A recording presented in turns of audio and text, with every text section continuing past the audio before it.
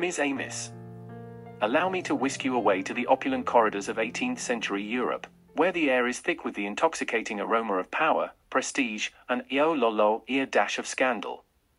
Here we find Madame Marsollier and her daughter, immortalized by none other than Jean-Marc Nattier, a man who knew his way around a paintbrush like Louis XV knew his way around Versailles.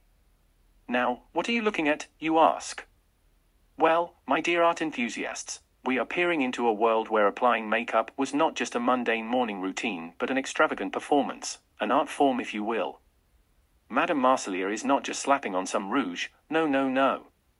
She's orchestrating an opus of elegance before an audience of friends and associates.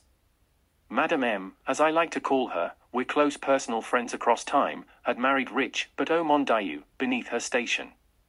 Quelle horreur! But fear not for our heroine used her wits and charms, and her husband's coin, to ascend the social ladder. A portrait by Nattier? That's akin to landing the cover of Vogue.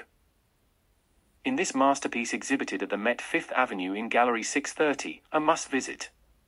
We witness young Marie Therese being initiated into high society's secret rituals. It's like Hogwarts but for aristocrats, magical in its own right.